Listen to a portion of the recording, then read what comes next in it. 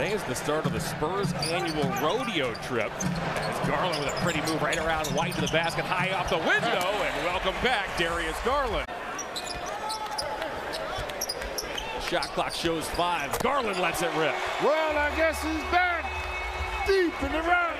And Jarrett Allen to Cleveland. You're right. I mean, he's back with Jarrett now.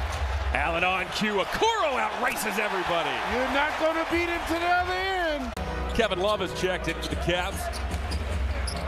alley got it. Garland to Allen.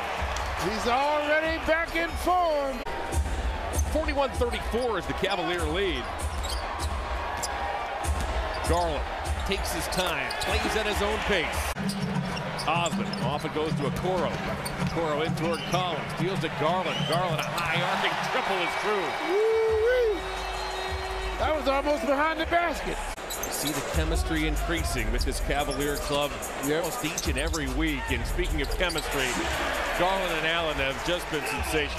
This is the youngest team that Gregg Popovich has ever coached, by the way, in his 26 seasons in San Antonio as Garland high off glass. Cavaliers trailed this game early by eight as a mid-range jumper by the Cavaliers. Evan Mobley is good. KB's Cavs on a 13-point lead. Murray out of the corner. with the Poeltl screen against his body. Missed the shot. Loose ball. Tipped to the corner where it's reeled in by Darius Garland. Murray angles into the forecourt. Deals to Vassell. Into the corner. Primo for three. One of the Cavs and Okoro got run over. Johnson keeps the possession alive. Murray didn't look like he wanted that three. He missed no, fires. Isaac is wearing him down. Garland right to the basket. Poeltl had to stay home. Jarrett Allen was in the middle of the floor, and Poeltl didn't know what to do, just kept backing up, and Garland took advantage. He gets run off the line. Now it's White. White fires. It's tipped by Johnson a number of times. Johnson keeps the possession alive. McDermott for three.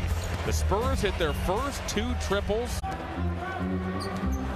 Garland angles off an Allen screen. His floater is good as Darius Garland opens up the second half scoring. Bill Land along with Sean Elliott, Michelle Beadle, as we are working from the AT&T Center where the rodeo is moving in.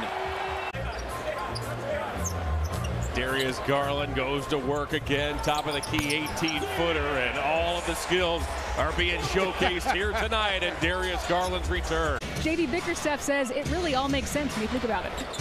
Yeah, you're right, Serena. And again, a person like Rondo really gives you that eye-opening conversation because that, as an Isaac Okoro, gobbles up his ninth rebound. Garland alley for Mobley makes the catch. Deals right back to Garland who lays it in. That's teamwork at its best. We remarked on the other side of the break, Love doing the little things. Yep. Vassell for three. The play doesn't happen if Love doesn't keep that ball up in the air. Yep, keep it alive. Come to life for the Spurs in this quarter, in this half, brother. Second year man out of Florida State, selected 11th overall a couple of drafts ago as Garland with that touch gets it to go. Garland has a game high 25. See if he got that shot off in time. Garland, pestered by Murray, steps back, 18 footer that's hard for a guard to do, isn't it, yes. Oh, yeah.